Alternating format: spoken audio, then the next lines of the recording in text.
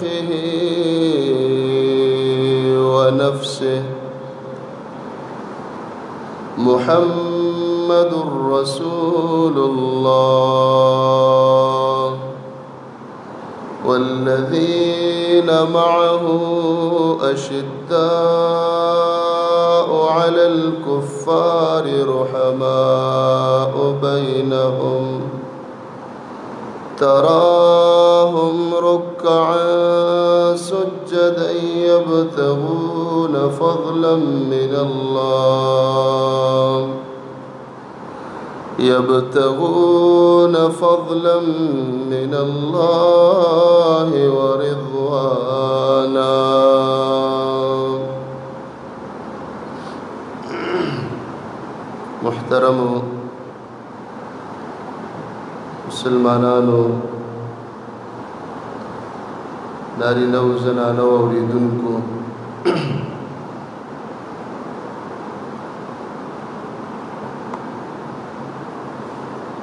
د هجرت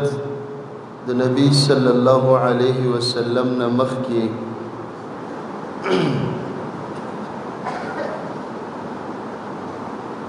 او د رسول الله صلی الله علیه وسلم د نبوت او د پیغمبرۍ یو لسم کالو تقریبا دولس صحابه کرام د مدینه منورې انصار د اسلام په مدینه کې اولنی مرګري راغلل او بیعت وک کله چې تلل د رسول الله صلی الله علیه وسلم نه غوښتنه او مطالبه وکړه چې زمنګ سره یو کس ولیږه چی مونږ ته دین وخیی دعوت وکی رسول الله صلی الله علیه وسلم د دوی سره د اسلام اولنې سفیر مصعب ابن عمر العبدری البدری رضی الله عنه ولیږه مدینه منوره کې په ډېر ښکلي انداز او په ښایسته ترتیب هغه دعوت شروع د اسعد ابن زراره رضی الله عنه سره دیرش د مدینه منورې دو سرداران چې د هغه دوو د وجې نه ټوله مدینه مسلمانان شو هغه د ده په لاس اسلام ته راغلل یو د هغوی نه اسید ابن حزیر رضی الله عنه او دویم سردار سعد ابن معاذ رضی الله عنه د داسې عظیم سردارانو چې کله دا دواړه مسلمانان شو مدینه منوره کې یو کور د صفات نشه په هر کور کې د نبی کریم صلی الله علیه وسلم د دعوت چرچا او تذکره شروع شوه اسید ابن حذیر رضی الله عنه هغه مسلمانو چې د قران سره ډیره مینه و یو ورځ د خپل کور کې د شپې په منځه ولاړو په یو کوټه کې اسم تړلو او د ده یو وړوکی بچی هغه هم پروت و او دی الله ته په مانځه باندې ولاړ و وایي څنګه چې ما سورت کهف په مانځه کې شروع کړ ومې کته رڼاګانې د اسمان نه یو بهترین تخت را کوز شه په ویښه باندې خوب یې نه لیده ولاړو مونځ یې کو دا ټوله کوټه او دا کور رڼا شي وای دې اس ټوپونه شروع کړل زه ویرېدلم چې اسې نه زما دا زوی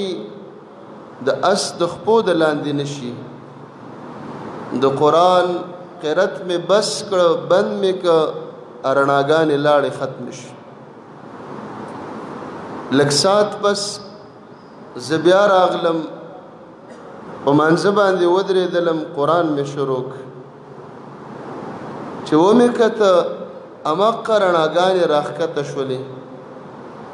اس بیا په ټوپونو باندې شروع وکړه بس ما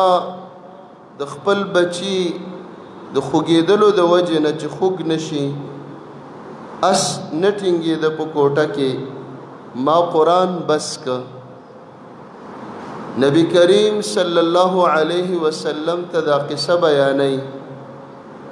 رسول الله علیه السلام ورته فرمایي اوسیدا تلک الملائکه استاد قران اوریدلو د پاره بیګا ملائک را کوزیدل کتا قران نو بس کړي دا ملائک به تر سحر استا پکور کې وي او د مدینه منوره ټول مسلمانانو به ملاقات او دیدن کړي وي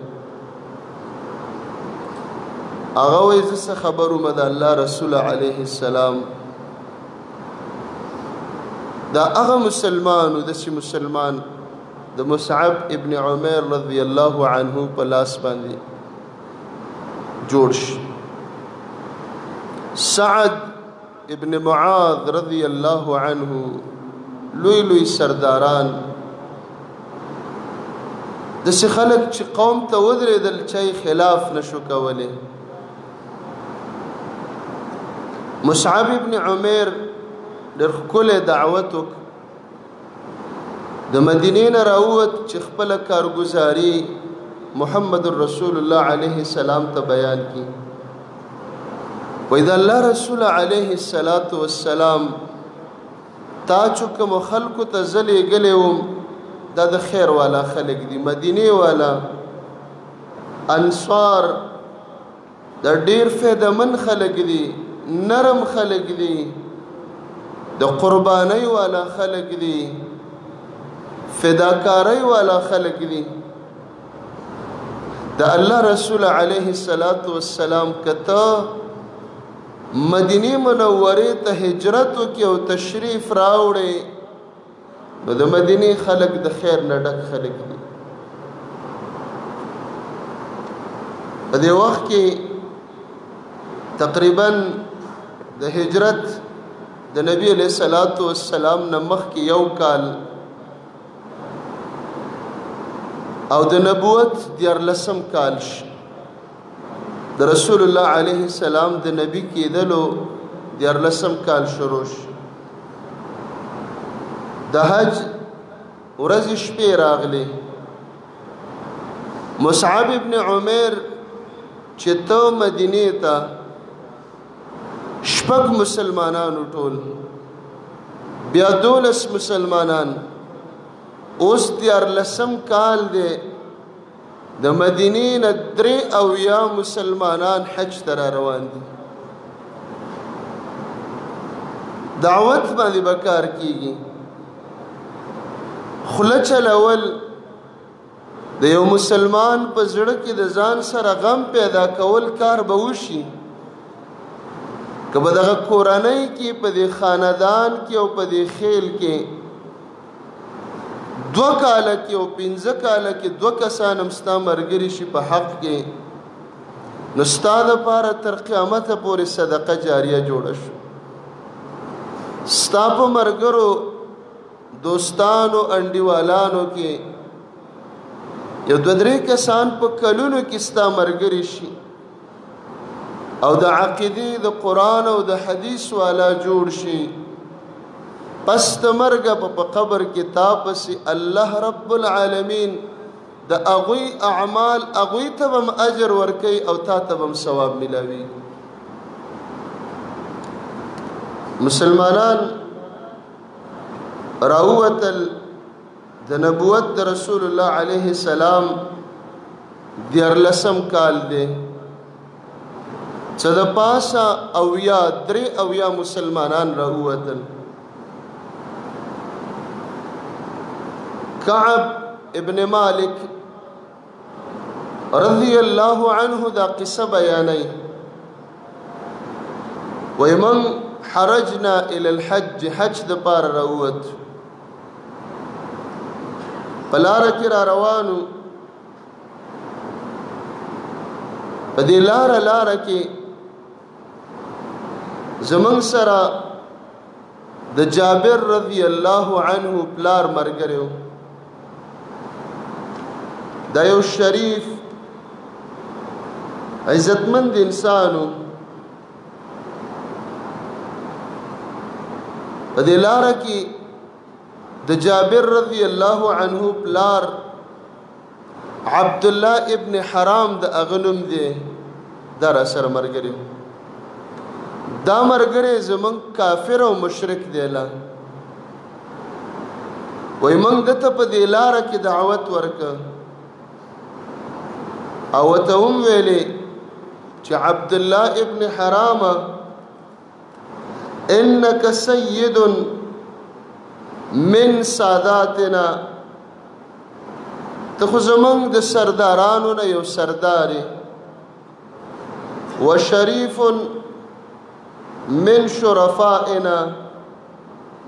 او ته زمونږ په عزتمندو کې یو شریف انسان یې خو مونږ سره یو یره ده مونږ دا نه غواړو ان تکون حطبا للنار چې ستا غوندې سردار د جهنم خوراک او خشاک جوړ شي اور به دې وسیزي زمونږ په تا باندې اور نه دی پیرزو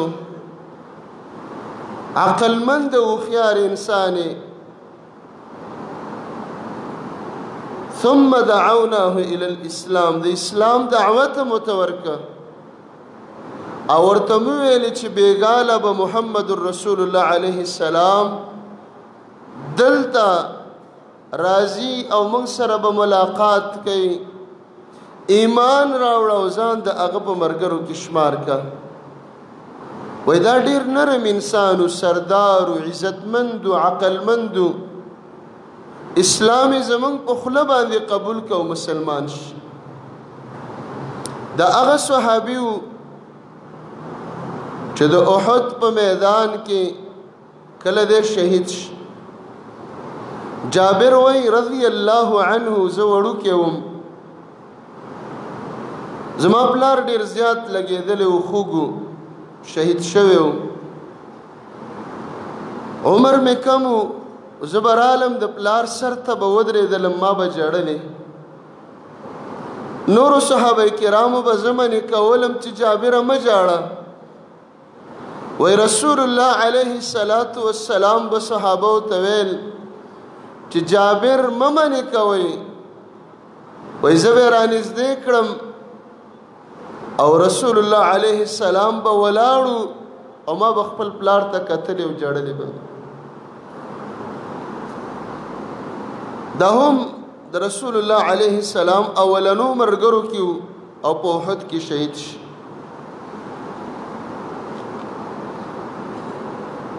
و چې کله مونږه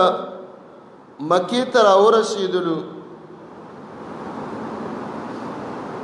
په دې لار کې مونږ را روانو زمون سره یو بل مرګره دی مسلمان برا ابن معرور رضی الله عنه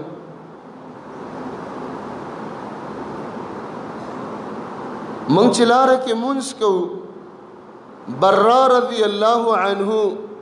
راولګيږي بیت الله ته مخ ورواړی او تر اوسه پورې قبله هغه بیت المقدس او فلسطین دی وې دې برا مونږ ته ویلې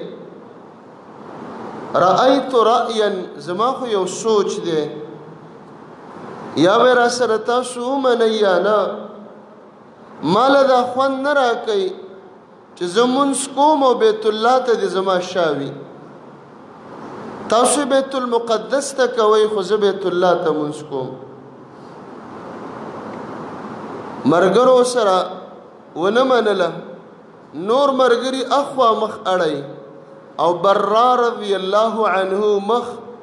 بیت الله تراړی او د رسول الله علیه السلام قبله هم بیت المقدس داغه قبله هم لا بیت الله نه و مقرر شوی په دې لار کې په دې طریقه موږ عبادت کوو من به شام ته مخواړه او برا رضی الله عنه به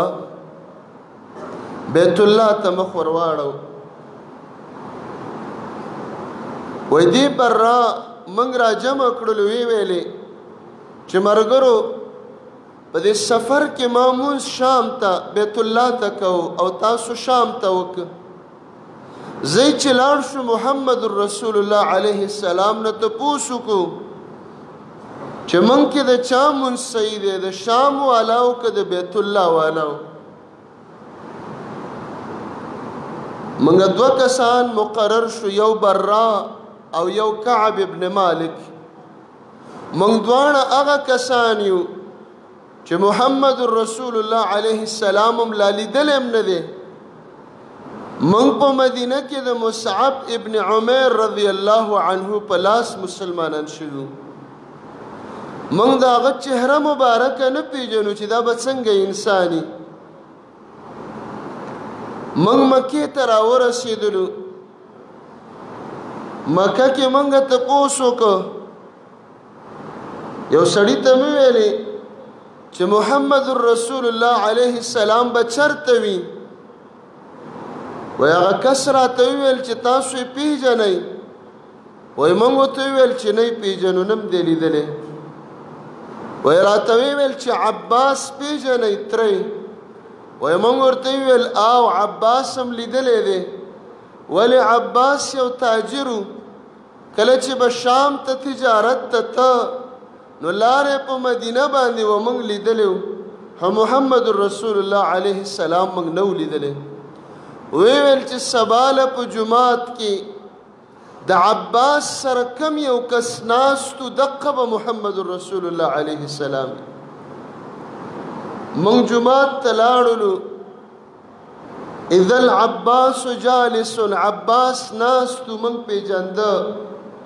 ورسول الله عليه السلام او نبی عليه السلام مسره ناس من چلاړو فسلمنا من سلام وک نبی عليه السلام سره کې ناس رسول الله عليه السلام عباس توي هل تعرف هذين الرجلين دا دو سړي پیژنې وای هغه ویل او دا یو برا دی سید قومه د خپل قوم سردار دی او دا بل کعب ابن مالک دی شاعر انسان دی وای رسول الله علیه السلام ما ته شاعر ویل زړه خوشاله شوم ځکه شعر او شاعري هغه وخت کې د خيارانو کارو کله چې من کې ناستلو رضی الله عنه ورته وی د الله رسول عليه السلام ما ته الله د اسلام هدایت کړی دی په دې لار کې مونږ چې را روانو مکه ته راتللو ما به منځ بیت الله ته کو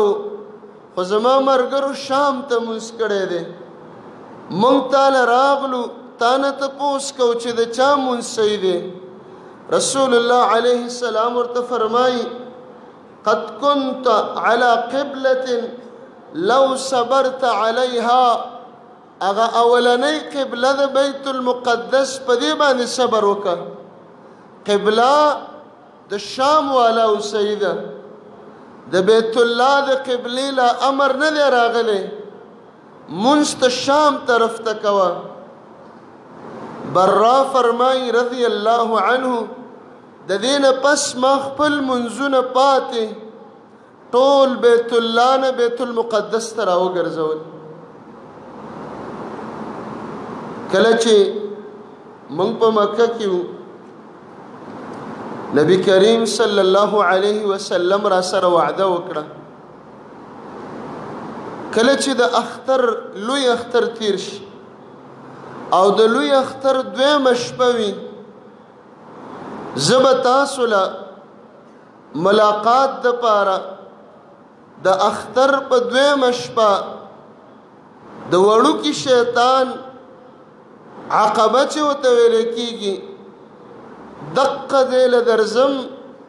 او تاسو د مدینې دغه اویا درې اویا کسان راجمع شئ ما سره به بیعت کوئ خو رسول الله علیه السلام راته وفرمایل چې یو خبره واوري د شپې په اخره حصہ کې براوځي چې هیڅ څوک تاسو نه خبر نشي کافران او مشرکان در باندې خبر نشي په دې لار کې انصار فرمایي مونږ چې راتللو یو بل ته ویل چې محمد رسول الله عليه الصلاه والسلام مکه کې اوسېږي خلک شړی را شړی خلک سپکاوي کوي راځي چې محمد رسول الله عليه السلام ځان سره مدینه ته بوزو تر سو پورې بد رسول الله عليه السلام سپکاوی او بې عزتي شروع وي تر څو پورې به رسول الله علیه السلام خلق په مکه کې او غرونو کې نه پریدي دا ارمانم د صحابه کرامو کړو کله چې رسول الله علیه السلام موږ سره د شپې د اختر د دویمې شپې وعده وکړه د اختر دویمه شپه وه او د شپې اخر او درېمه حصہ شروع شو وای من د خپل خیمونه د سپټ راوتلو لکه څنګه چې قطا مارغه روان یو چاته پته نه لګي د په عربو کې یو مارغه د ده په الوتلو کې ناستلو مزل به څوک نه پوهېدل انصار فرمایي موږ د نبی کریم صلی الله علیه وسلم ملاقات د پاره پټ پټ راووت ځکه موږ سره مشرکان مو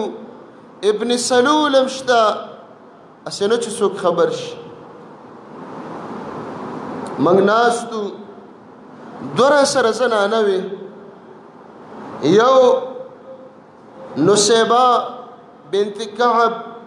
ام عماره باندې مشهوره یو مجاهده زنانه وه دویمه اسماء بنت عمر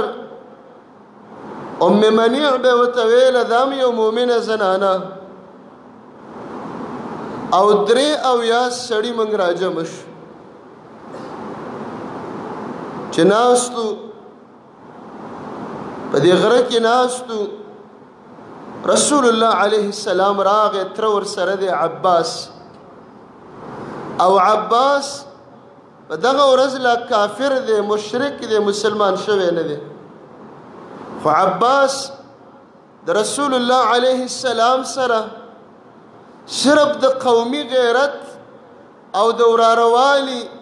او د رشتې او د خپلولۍ د وجې نه ګرځي رسول الله علیه السلام خوښ دی ورته ګران دی مینه یې ورسره ده خو دین او اسلام یې ورله خوښ نه دی په خپه کېږي غیرت پې کوي خو اسلام ولا نه مني عباس ور سره دی راغلل موږ ناستو چې کله موږ په مجلس کې کېناست اولنۍ خبرې عباس شروع کړلې وی ویل یا معشر الخزرج اے خزرجیانو محمد رسول الله علیه السلام په ستا سره غلی چې د مکې نه ځان سره مدینه ته بوزي یو خبره واوري دا زما وراره دی مکه کې مونږ د خپل وس مطابق د حفاظت کو مونږه ساتو څوک وجل نش څوک په حمله نشي کوله که تاسو یې بوزئ او سباله بیا دشمن ته حواله کوئ یا ورسره مدد نه کوئ نو زمونږ نه به هم وباسئ او مدینه کې به حفاظت ونه کوئ نو د نن نه خبره ښه ده ده چې مې بوځئ د ځان سره او که نه د حفاظت او د قربانۍ ذمہواری الی نو زه نه منې کوم زما وراره ده که تاسو سره ځي زما د طرفه ورته اجازت ده کله چې عباس دا خبرې وکړلې عربو خیاران خلک دي ولی عباس په دې باندې پويږي چې په تشو خبرو باندې کار نه کیږي جذباتي خلک بعضې وخت کې اول کې ګرمي اسنه چې محمد رسول الله عليه السلام او سبال په مدینه کې معمولی تکلیف راغې بیا به تی تختی بیا به وسره مدد نه کوي بیا به پریدي نو لوز تی واغست کای مدد کولې شي ځان په وجلې شي بوې ځای کني منګه ساتو منګه حفاظت کوو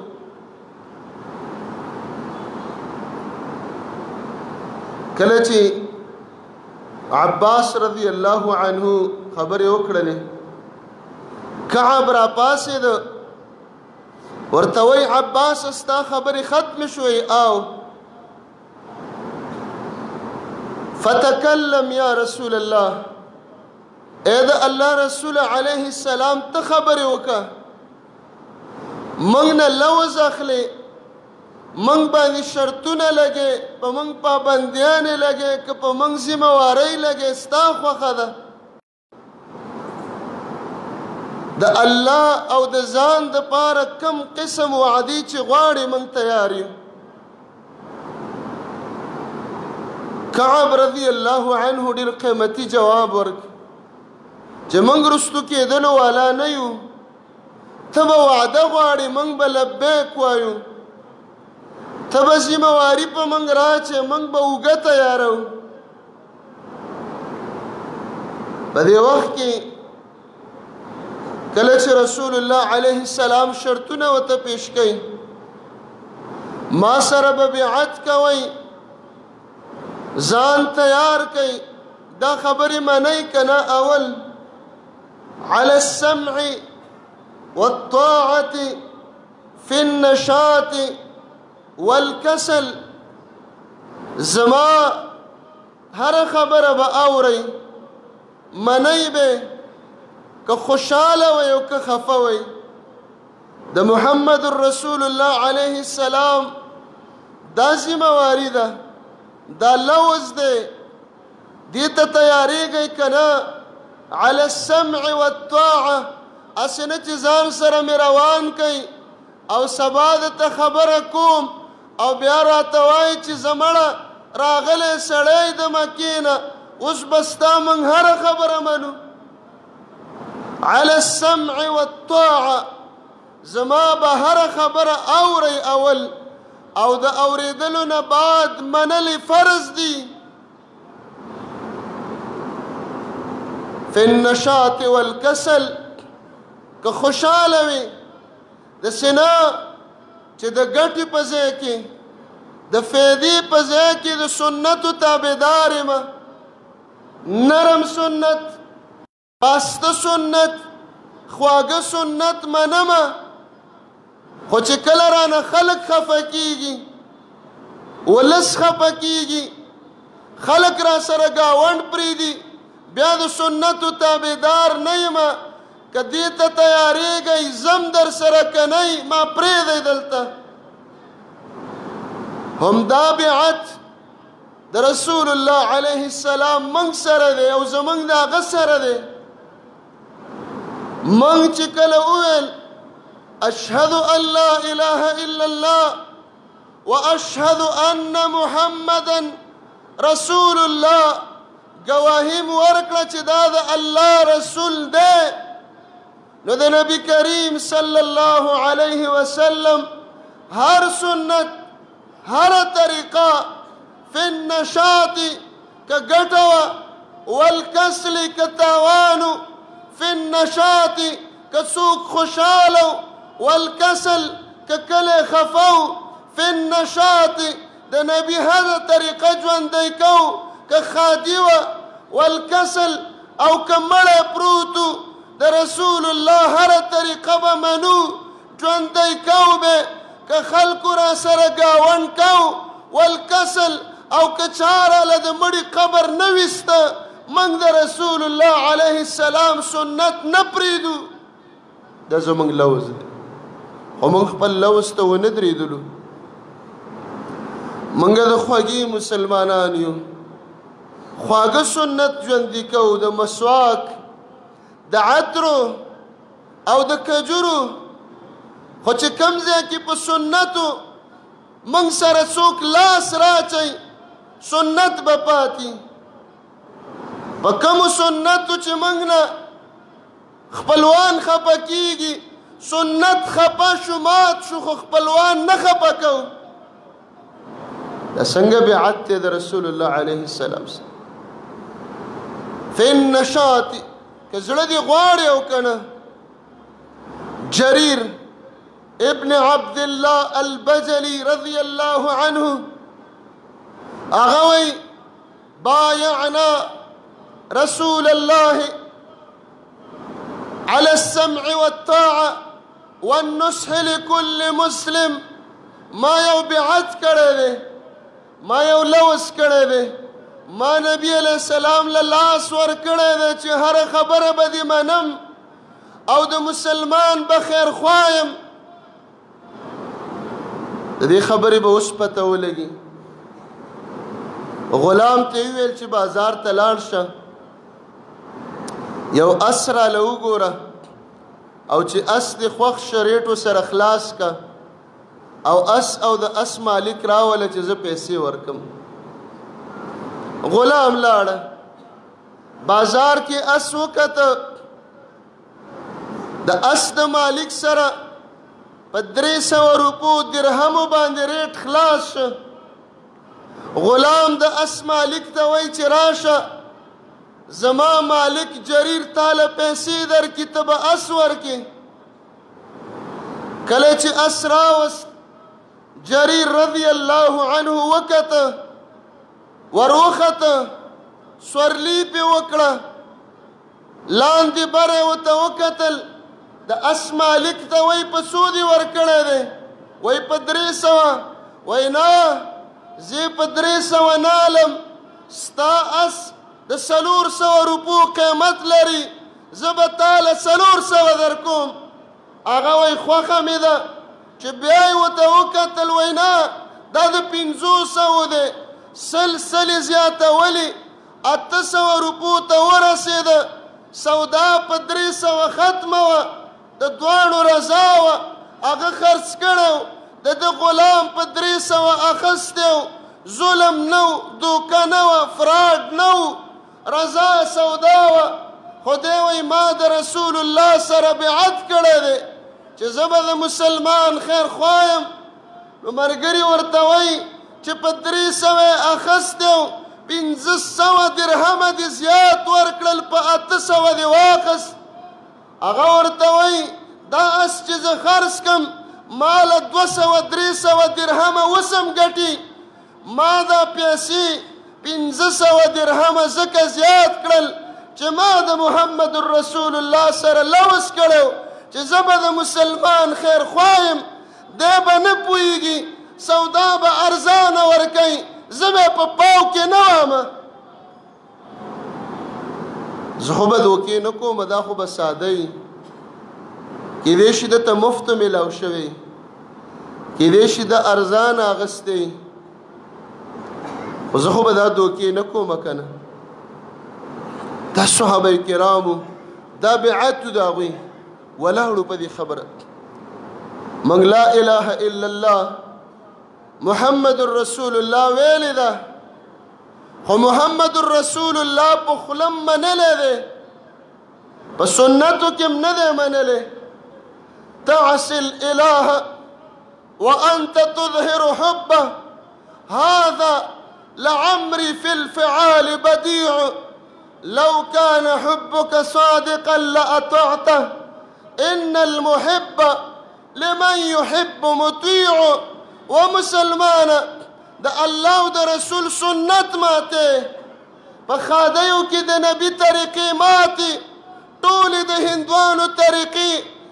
نکریزې وړل د هندوانو طریقه جنجونه د هندوانو طریقه الک او زلمه په پالنګ کې وشتل د هندوانو طریقه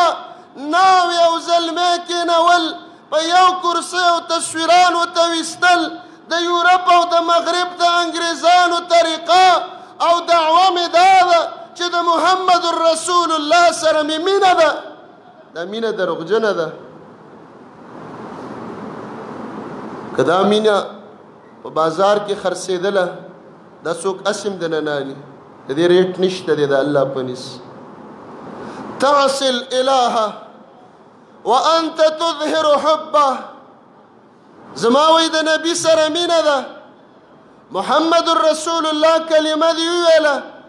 په موږ فرض ده علی السمع والطاعه د رسول الله به اور او منو به ته څنګه مسلمان د رسول الله سنت په مخ او چهره نه پرېدم او زار دې د خواږه نامه نشم زما د بیان نه علاوه ته سوچ وکړه چې ته د خپل نبی منونکی که دوکمارې ته د نبی تابعدار کفراډی په خله باندې وې زما استاد نبی سنت په مړی کې سو په جنازو کې سو جنازه به نه ایساره ولا ته ولی مړی ایساره د کراچۍ او د لاهور او د جلال آباد او د تورخم ملمنو ته ولې مړی ساريږي اسرعو بالدفن اسرعو بالجنازه محمد رسول الله مونږ ته وای مړې زر دفن ک چې قبر تیار شي جنازه زر وکا که سړی خده پرې د چې جنت او نعمتونو ته لاړ شي او که سړی بد عمل دی دا مردار لري کوي د ځان نه منګه مړی سارو د نن سحر مړی سبا د ماسخوتن لس بجو لسو نه پس بخخیږي ولی خلک را روان دي منګ نبی علیہ السلام سره لوز مات که ډیر مسلمانان چې موږ د سنتو دعوه کړې ده ښکلي ښکلي چهرې مو جوړې کړې دي ښه ښایسته په سنتو برابر ښه مزیدارې ګیري ښکلی لباس اچو خو بیا هم زمونږ په مړي کې په جنازګاه کې د منبر د پاسه قولدار او شملدار اعلان کوي چې پلانکې خان جی او پلانکې خان جی او دستان جی وای چې ګوره خپه به مدنه ما سره به دوا واپس په کټونو باندې کوي ولی د دا اولی ورځې خیرات باندې کړی دی که ته د نبي تابعدار ستا د محمد رسول الله په تابعدارۍ کې نه د اولې او نه د درامې نه جمعه نه څلوېښتي نه د کال دا خیراتونه نه وو مړو پسې صدقې وي جاری صدقې وي څوک تی خبرېدل هم نه خیرات منې نه دی خدا رواجونه پکې نه دا د تختې الواګانې ورپسې نه وي دا ملکانانو ته په جنازګاه کې جا نمازونه اچول نو هغه د خاورو جنازګاه وي دا خو ته په کاڼي ولاړې د پکی د لاندې هغوی به په خوړ کې ولاړو خو صحابه کرام او ابوبکر او عمر او عثمان او علي ته چا جا نمازونه نه اچول نه د هغوی په جنازو کې قرآن شریفونه نه وړل کېدل کم طرف ته رواني که د الله د دې کلام موږ سره قدري نو د الله دا کلام په دې ارماریو کې پروت دی دا پرېږده زما او ستا په کور کې پروت دی لیش لیش دوړي پې پرتې دي دې مړي نه دی لوستلی دا مړی تی خبر هم نه و د درس له نه ته د قرآن نه راغسته نن سل نه د ده د مړي سره یو لک قرآنونه روان دي دله فایده نه ورکوي د پې عمل نه دی کړی دی تلاوت نه دی کړی د راغستی نه دی د د دې قرآن مطابق ژوند نه دی تیر کړی د له به څه فایده ورکړي غرض دا و موږ د رسول الله علیه السلام سره بیعت دی علی السمع والطاعه اې د الله رسول علیه السلام هره خبره به دې منو موږ به په لباس کې ستا طریقې ته ګورو موږ به په کور کې ستا طریقې ته ګورو موږ به په ښادۍ کې ستا طریقې ته ګورو موږ به په غم کې ستا طریقې ته ګورو موږ به په مانځه کې هم ستا طریقه ژوندی کوو الله اکبر رسول الله علیه الصلاۃ والسلام سنت راواله زنویم حنفی علما فرمای امام شاه ولی الله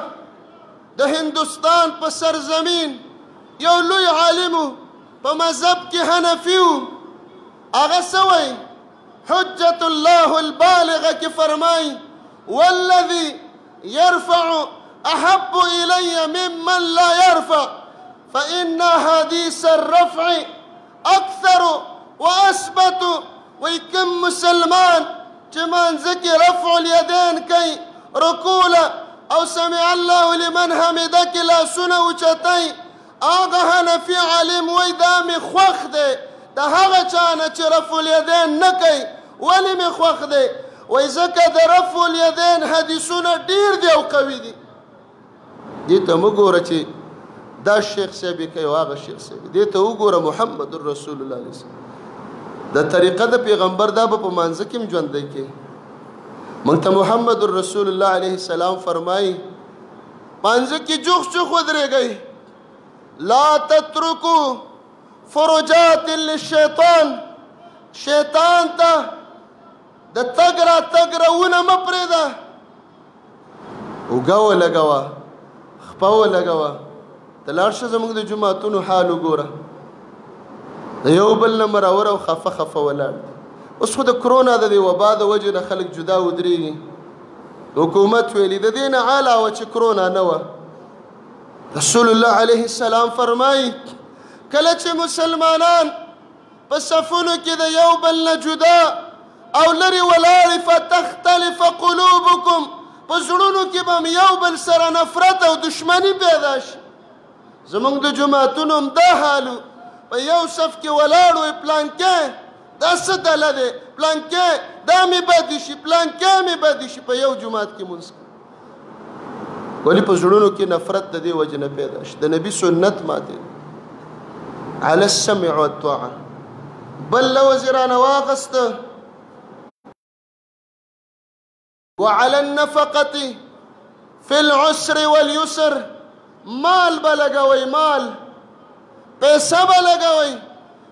فی العسر غریب ما د غریبۍ مطابق ولګوه والیسر ته مالدار د خپل وس مطابق په اسلام پیسې ولګوه مونږ خو مسلمانانی نو وینه ورکو او نه مال ورکو او الله اتوانه جنتونه غواړم سوال د اتو جنتونو او پیسې په اسلام نه لګي صحابه کرامو ترتیب وګوره ځان باندې مې پیسې مقرر کړې زه به هره میاشت دومره ورکوم چا به په کال کې ورکولې چا به روزانه ورکولې ولې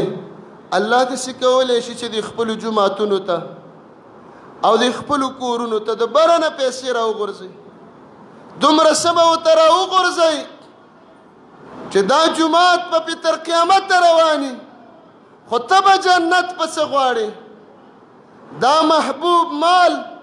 چې د زړه او د ټټر او د سینې د پاسه تا جیب جوړ کړی دی امتحان دا دی چې د دې زړه د سر نه راواله او د الله په نوم ورکه اولنو صحابو نه د لوز واغست ګوره پیسې به لګوي د اسلام دا ټیر په پیسو چلی چې زم جیب تالک موتیم تالک او موږ عربو ته پته مش عرب برازي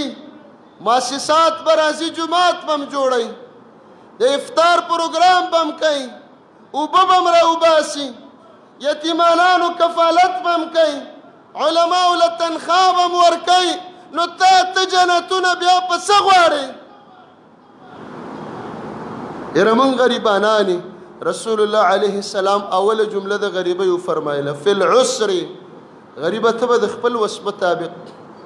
زمونږ غریبي معلومه ده مونږ چې جماعت جوړو مونږ غریبانان شو زمونږ چې جماعت آبادېږي منګه وږي شو خو زمونږ په ودونو کې بیا اسرافونه مالونه لګول په اجړاګانو او ډمانو شیندل